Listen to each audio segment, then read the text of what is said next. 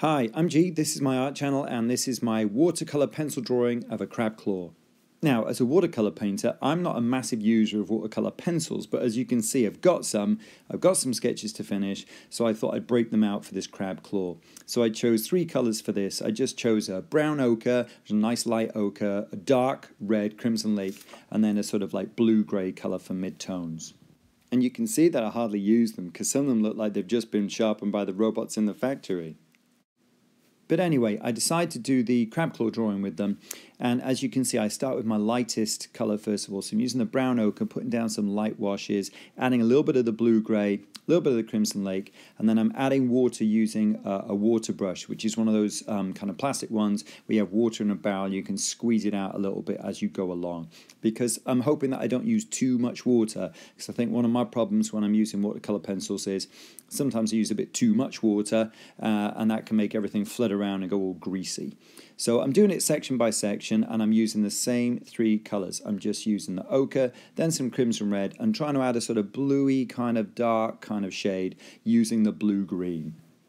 So you can see I start kind of carefully, very tentatively, because of course, haven't used the watercolor pencils in so long, I'm a bit like, oh, I've forgotten how these work, I've forgotten how these handle.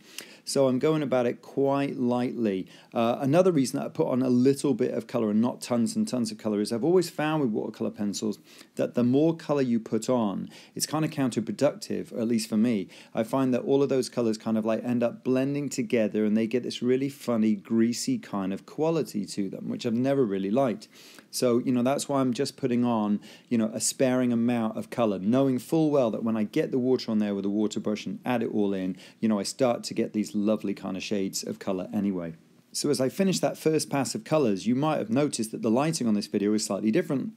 And that's because we actually got a couple of days of sunlight in February. So I was able to actually shoot this video using natural lighting instead of the usual daylight bulbs that I use which is okay as long as I make sure that uh, the work is shaded, which I didn't do for this clip, and that's why you can see the sunlight gently encroaching in from the right hand side. But as you can see, what I've tried to do is go back into the picture once I had those first sort of sets of colors, and I'm adding um, color on top and then working it with the water brush again to try and get some, you know, darker areas on the pincer, some darker areas in the red on the claw, and also a little bit more of the yellow ochre to give it that kind of warm kind of look. Now, in the picture, in my reference photo, it's lying on a, a load of wet rocks, uh, and they've got this lovely kind of green, kind of seaweed quality color to them. Uh, so I use three shades of green here, a really, really light, bright green, then sort of a couple of kind of muddy, kind of uh, camouflagey kind of greens, and I just layer those up like you can see. So I go from light first, then medium, then dark, very patchy, very loose, and then I just get the water brush on top of those and blend those colors together. You know, hoping to have a kind of a darkish edge so that the uh, the crab pincer, the crab claw, will really pop up and you know really jump off the page at you. So there's the finished sketch. I hope you liked it. I really enjoyed doing it. So let me know what you think in the comments below and whether you want to see some more watercolor pencil sketches. And I've got to give a shout out to the Mind of Watercolor YouTube channel because it was his series on watercolor pencils that really inspired me to get mine out and have a go with mine.